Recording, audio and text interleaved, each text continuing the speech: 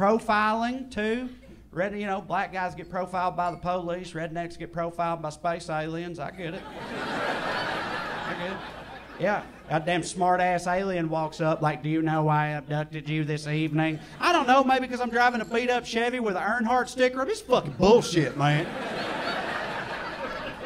Third time this month. God damn. It's always rednecks getting abducted by aliens, man, all the time.